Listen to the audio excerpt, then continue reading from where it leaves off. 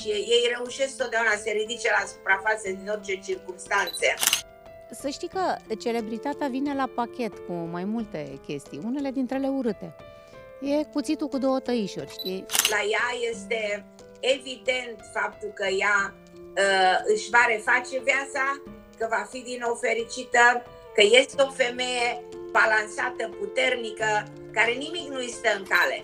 Cred că este cel mai frumos lucru să nu aștepți validare de la absolut nimeni.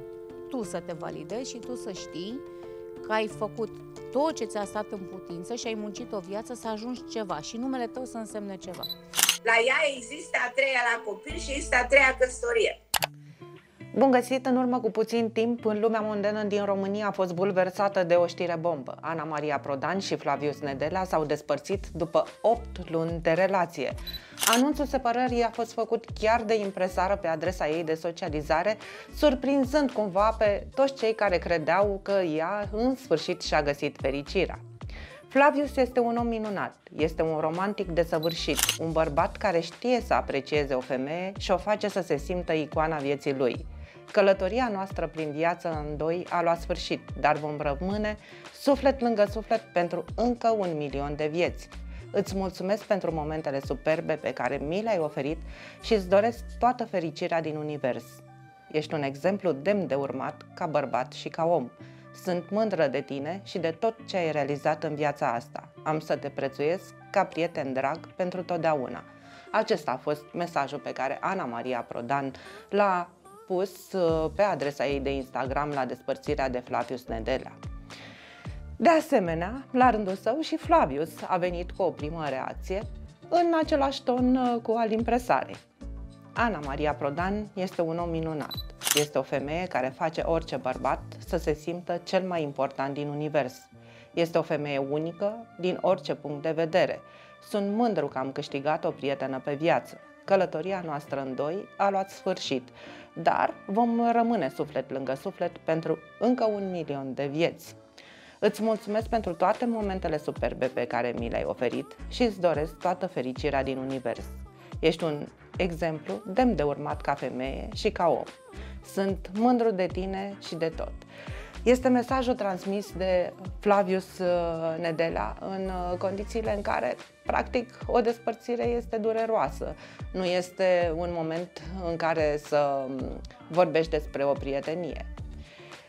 Din păcate, viața este surprinzătoare și dacă cei doi credeau că o să-și creioneze o relație împreună, iată că a venit uh, despărțirea și poate că nu știu, la mm, capătul uh, luminiței și la capătul acelui tunel pentru Ana Maria va găsi fericirea în brațele altui bărbat, așa cum spunea Carmen Hara, poate bărbatul perfect va veni la cea de-a treia căsnicie.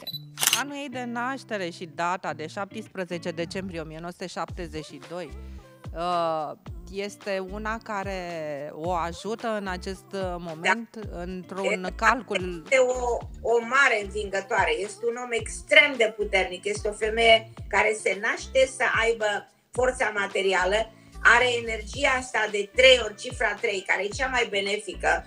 Cifra 3 sunt oamenii care renasc de o mie de ori din cenușă și eu sunt cifra 3, sunt oameni care este foarte greu să fie învinși. Ei reușesc totdeauna să se ridice la suprafață din orice circunstanțe. Uh, și cifra 3 înseamnă Trinitatea, cifra 3 înseamnă mamă, tată, copil, înseamnă piramida, înseamnă, uh, uh, cum să spun, simbolul cel mai puternic uh, al echilibrului și al familiei. Deci, și de are și trei copii, pentru că este cifra 3. Deci, iată că la ea este evident faptul că ea uh, își va reface viața, că va fi din nou fericită, că este o femeie balansată, puternică, care nimic nu îi stă în cale. E, și eu am mare admirație pentru ea. Și atunci a treia căsătorie trebuie să fie uh, Exact. La ea există a treia la copil și există a treia căsătorie. Deci a doua căsătorie pentru oamenii care sunt cifra 2 de obicei este eșuată. Așa se întâmplă și abia a treia este cea care Uh, cum se spune, este de durată și este de bun augur. Ce frumos! Uh, să sperăm că lucrurile vor merge într-o direcție o, da. pozitivă pentru Ana. Care să fie adevăratul motiv pentru care cei doi să pună capăt relației, deocamdată nu știm. Sunt sigură că se vor uh, găsi și multe persoane care vor vorbi despre această relație, vor uh, veni și informațiile care au dus la separarea neașteptată a celor doi. Până atunci, uh, certitudinea este că Ana și Flavius s-au înțeles foarte bine în aceste 8 luni aceste obluni pe care le-au ținut cumva ascunse de ochii lumii, în uh, ultima perioadă au decis să apară împreună, au fost în vacanțe pe coasta de Azur, la Atena sau recent la Portofino, radiau de fericire pe adresele de socializare în imagini, însă relația lor pare că acum s-a terminat. În ciuda faptului că paparații noștri uh, de la Wowbiz i-au surprins uh, împreună ca un cuplu cu vechi state uh, și păreau că sunt doi soți, nu doar doi iubiți.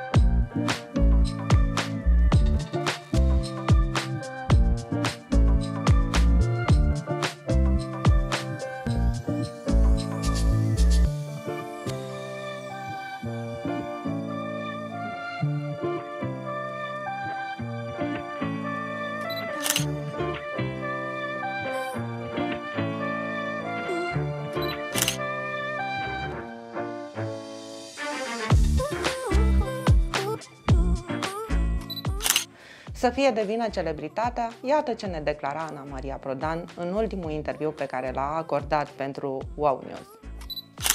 Să știi că celebritatea vine la pachet cu mai multe chestii, unele dintre ele urâte. E cuțitul cu două tăișuri, știi? Și explic tuturor care își doresc să aibă notorietate, să apară la televizor. În momentul în care ai apărut la televizor, trebuie să te țină tot. Da, să poți să duci. Să poți să duci. Da. Cred că este cel mai frumos lucru să nu aștepți validare de la absolut nimeni. Tu să te validezi și tu să știi că ai făcut tot ce ți-a stat în putință și ai muncit o viață să ajungi ceva și numele tău să însemne ceva, fără ajutorul nimănui. Cred că asta este cel mai frumos lucru uh, pentru mine, faptul că nimeni, absolut nimeni nu m-a ajutat în viața asta cu un leu sau cu un, uh, nu știu, un favor. Eu le-am făcut tuturor favoruri iar astăzi, dacă mă uit așa de departe la ei, nimeni n-are curaj să se uite către mine, pentru că nimeni n-a fost acolo nici când mi-a fost greu, nici când... Și cum e, la bine toată lumea vine. Când ți-e greu, când, greu, când mie mi-a fost plec. greu, au fost câțiva lângă mine. Tu ai fost unul dintre ei și toată viața asta și încă un miliard de vieți, ai să fii aici, în inima mea. Deci am zis că nu o să fiu emoționată eu când sunt cu Ana uh, într-o emisiune. Într-adevăr, eu am încercat să fiu acolo pentru că știu ce înseamnă să treci prin momente dificile și atunci când ești prieten cu un om, uh, te duci cu el până în pânzele albe, chiar dacă uneori uh, acel om poate greși. E, e omenește lucrul ăsta, e omenește și să-i spui unde greșește, dar tu trebuie să fii acolo, acolo Știi lângă cum el. zicem noi în fotbal? Merg cu tine până la capăt, chiar dacă ești prost, ești prostul meu. Acesta este un sfat pe care l-am dat tuturor prietenilor mei care au divorțat și le-am explicat că probabil nimic nu este forever, în afară de copii și părinți. Este foarte adevărat. Uh, nimic nu e forever, însă trebuie să ne bucurăm de lucrurile care ni se întâmplă pe moment. Și pentru, pentru asta, când stau și mă uit înapoi, da, am să mulțumesc toată viața și primul meu soț și al doilea, uh, meu, al, uh, uh, al doilea meu soț. Am să le mulțumesc pentru faptul că mi-au oferit uh, cele mai de preț daruri copiii mei. Și repet, îmi doresc uh, să putem vreodată, dacă ne vom întâlni, să spunem hello, ce faci, cum îți merge. Sunt sigură că și lucrurile acestea vor intra într-o normalitate uh, atunci Dumnezeu când e mare. tensiunile da, Da, Dumnezeu se e duc. mare și le aranjează cum știe El mai bine.